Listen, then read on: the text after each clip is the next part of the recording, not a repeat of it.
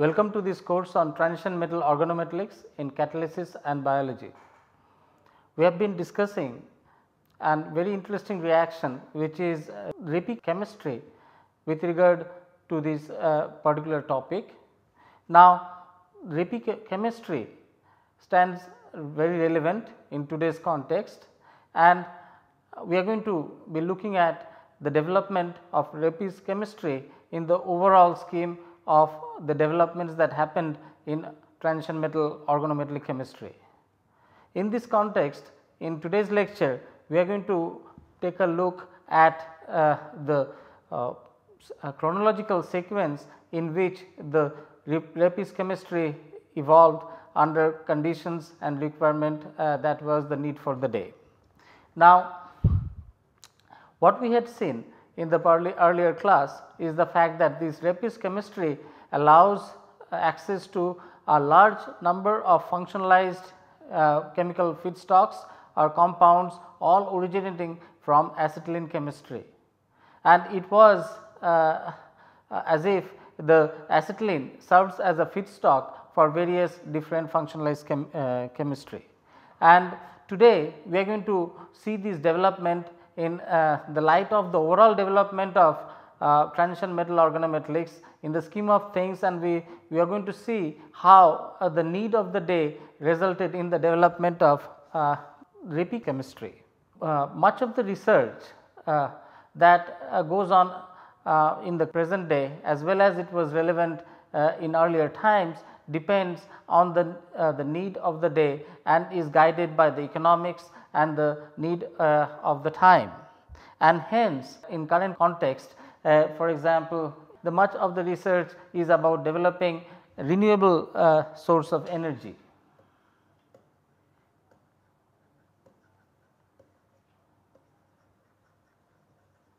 And this involved uh, looking into options uh, uh, like solar, wind, water, biomass, so on and so forth.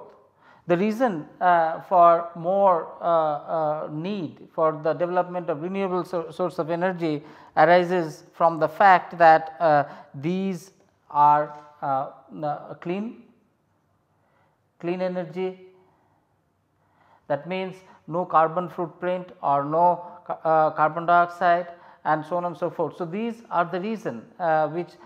allows us to who focus more on uh, renewable energy. The other reason uh, uh, to have this emphasis on renewable energy arises from the fact that depletion of the carbon footprint from the face of the earth in terms of the so called non renewable energy like petro coal and petroleum.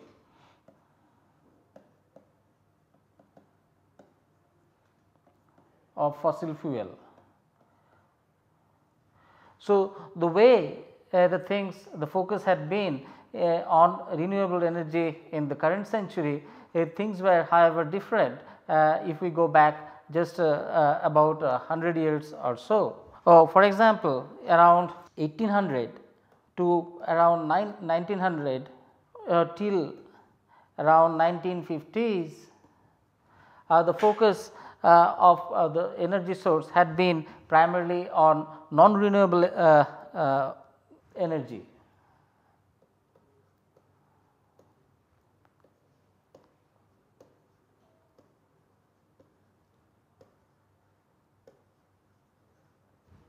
And uh, these involve fossil fuels uh, which uh, would include uh, sources like coal, natural gas, crude oil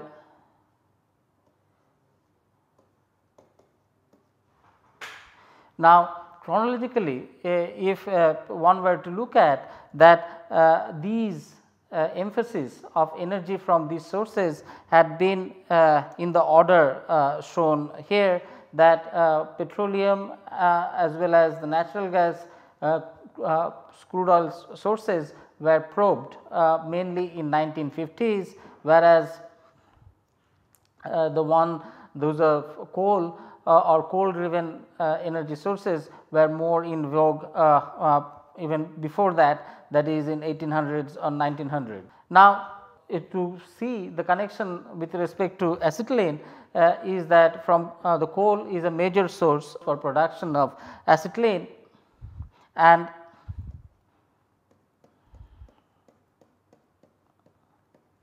whereas uh, uh, from natural uh, uh, gas or from petrochemical industry what people get is ethylene or propylene. Now, uh, the way uh, in current times uh, the, the focus had been on generating energy from renewable sources uh, about 100 years or so back the focus had been on gathering energy from non-renewable sources uh, which were for example uh, from that of coal or from that of acetylene or to be more uh, accurate that in early 1900 or so, or so the focus had been on uh, uh, getting it from acetylene which is a product from, from the coal whereas maybe about uh, 3 or 4 decades later in 1950s the focus shifted from on uh, to acetylene to more uh, uh economically feasible. uh, uh, Uh, uh, source like ethylene and propene. Now, uh, the whole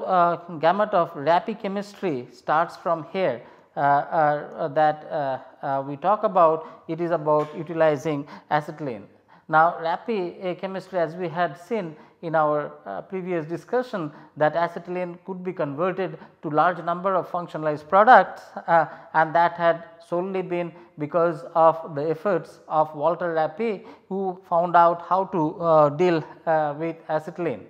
And to uh, uh, elaborate further on that for example, one can convert acetylene to acetaldehyde which is a useful intermediate. Aldehyde uh, are useful intermediate for other functionalized chemicals.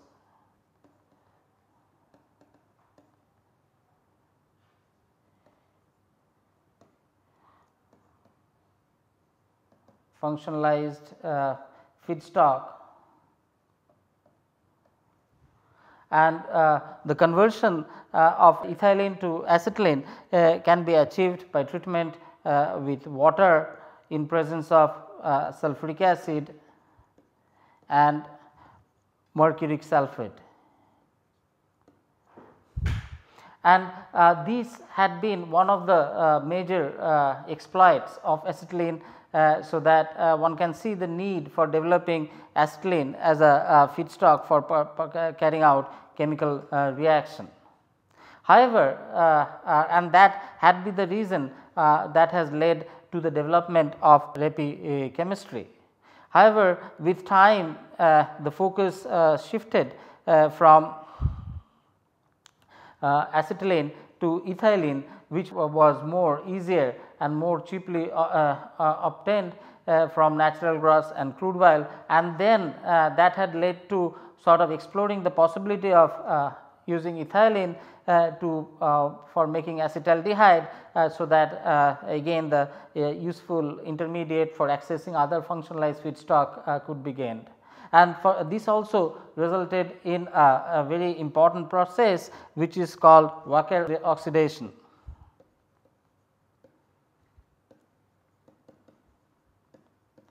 So, Wacker oxidation involves reaction of uh, ethylene in presence of palladium dichloride catalyst and copper uh, chloride catalyst which results in formation of the acetylides. And this process this process from obtaining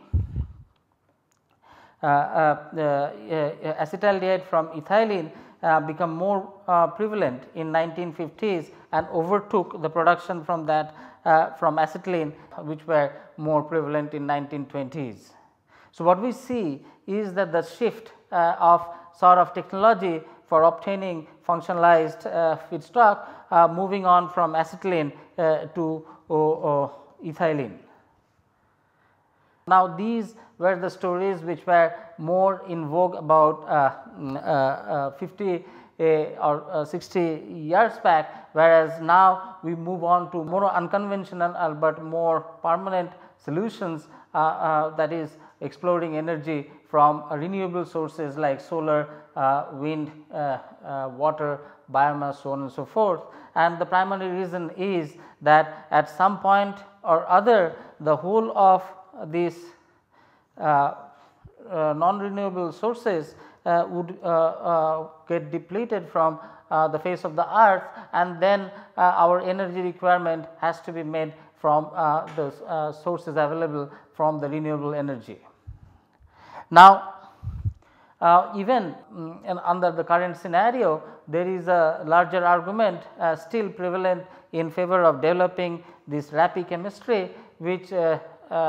sort of makes a comparative estimates of how long this uh, uh, fossil fuel like coal or natural, uh, natural gas or crude oil would last on earth. And based on the estimate it is still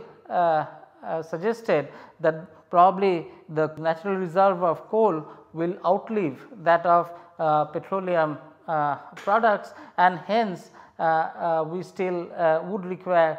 to focus on getting energy some amount of energy using the Reppe chemistry. And this brings us to the relevance of Reppe chemistry in today's context. Even though both coal and natural gas crude petroleum at some point or other uh, would get exhausted, but coal uh, reserve would outlast or outlive the natural gas and the crude oil reserve and hence uh, uh the uh,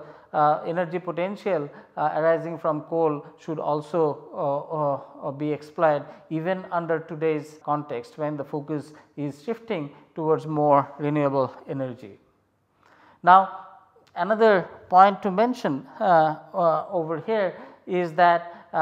mm, in this world uh, where uh, it is everything is still yet to be standardized or people does not have a standardized opinion on uh, several issues, there are countries uh, pursuing each of these technologies depending on their uh, reserves. For example, China, uh, China has a large coal reserve and China still explores the potential of acetylene as a feedstock.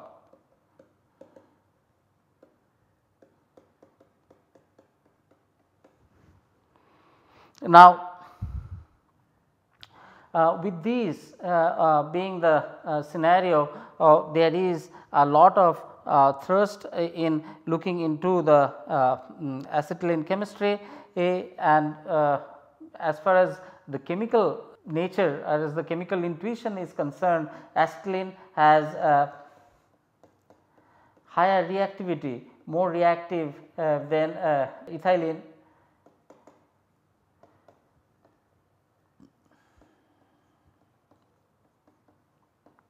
And hence uh, would require less step in reacting or in reactions to reach uh, the intermediates uh, than what would one would require from that uh, of acetylene. Uh, another uh, last but not the least but important argument however in favor of non renewable energy is that unlike renewable energy for example like that of the solar energy uh, there is uh, depending on the strength of the wind there is a huge fluctuation in the power that is generated uh, arising out of this wind. Whereas, in contrast to that energy from non renewable sources like coal provides a steady a, a, a supply of energy in terms of the electrical power that is generated and hence uh, there is still uh, demand as well as argument in favor of uh, exploring the non-renewable uh, energy sources as an option for making our energy needs. Now, uh, with this background I think now uh, you would have a understanding uh, of the reason as to why Reppe chemistry which was developed so early on in 1900s uh, uh, is still relevant in today's context and that those reactions has led uh, to so many different products uh, uh, because of its various chemical exploits and that had been carried out by very dedicated Uh, scientists uh, uh, for example, in the form of Reppe who has developed this chemistry and the name uh, suggests so. Now, uh, with that uh, uh, I, I, think I have pro provided you a, a, picture of how relevant is acetylene and conversion of acetylene to other feedstock and the challenges involved in this which was the need of the day in early 1900 when the energy options were uh, from non-renewable sources were explored and even now about 100 uh, or more uh, years later the Reppe chemistry is still of relevance because of reasons just mentioned now. Now, now with these we come back to the central of Reppe reaction which is acetylene and then uh, we are going to uh, sort of uh, look into the utility of acetylene apart from uh, what I have been just uh, talking about uh, on Reppe kind of conversion in our daily need. Now, acetylene uh, uh, as I mentioned apart from the Reppe chemistry has uh, been long used for welding purposes and the first use of acetylene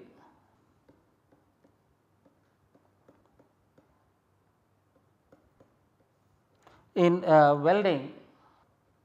is noted as early as 1906. Uh, uh, uh, and uh, the reason being the applications of acetylene in welding is because this is the strongest, safest and simplest, safest and simplest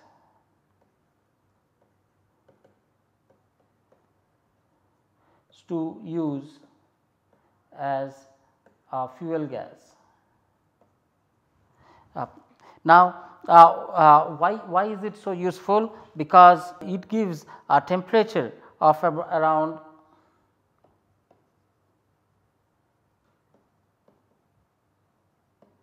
around 3000 degree centigrade uh, when mixed with oxygen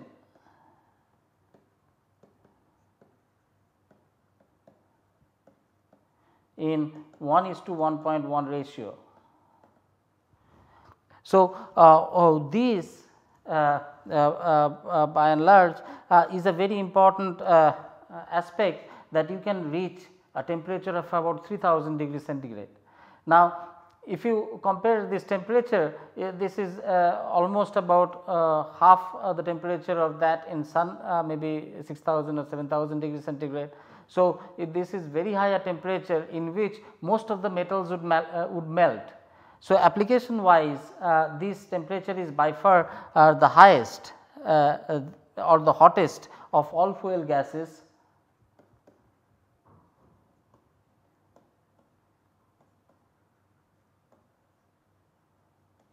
hottest of all fuel gases and hence uh, it can easily melt all of them uh, and hence uh, uh, it, it is not a surprise that acetylene is mm, can is found extensive application in welding purpose. Now, it has a, a specific gravity of about uh, 0.9 uh, relative to 1 uh, for for air so, that means acetylene is lighter uh, and hence uh, would move up uh, if unused. So, it is not going to sort of uh, uh, you know uh, sink or stay low if there is any unused acetylene is there. So, in that way it is kind of very safe to use and also uh, the oxygen ratio that it requires is uh, very less which is about 1 is to 1 many other uh, fuel gases uh, for example ethylene or propylene would require more amount of oxygen to burn than what acetylene uh, uh, would. And because of this reason because of its light nature because of its low oxygen consumption ratio and because of the very high temperature Uh, that uh, uh, it can attain when burning with oxygen, acetylene is the best, safest, strongest and simplest fuel gas to use and has found applications in various welding type applications. So, apart uh, from uh, conversion of acetylene uh, to feedstock, acetylene has also a tremendous application in welding industry. lastly, it has also a smell of that of garlic. So, if there is any leak or anything that can also be easily detected garlic like odor and all of these provided uh, overview of as to why acetylene was uh, important uh, uh, uh Uh, in co uh, context of application as early as uh, beginning of 1900 and why so much uh, research activities were centered around acetylene which has led to the development of Reppe chemistry which we are talking about. With these uh, uh, uh, you know we are going to be uh, uh, looking into some more uh, reactions some of the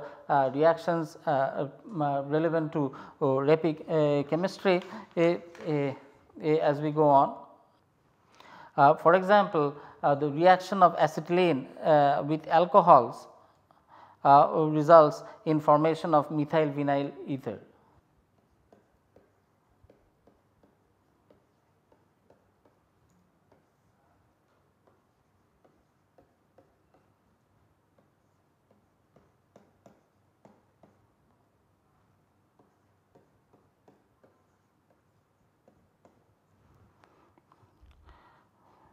So, this is a reaction uh, uh, when uh, vinyl functional group is formed and is a part of the reaction called vinylation.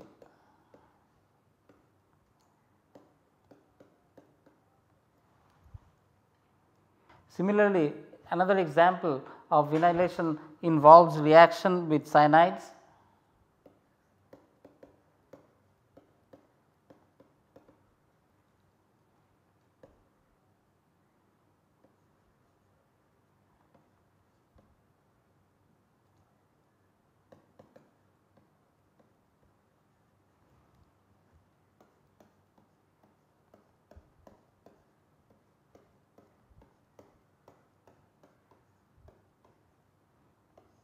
This involves a, a catalyst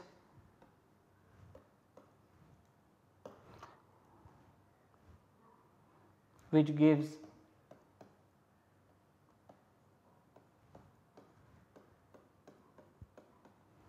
uh, acrylonitrile.